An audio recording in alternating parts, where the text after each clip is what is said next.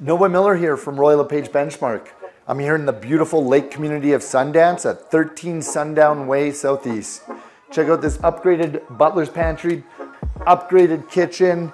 We've got a large wood burning fireplace. This place has it all. Let's go check out the rest.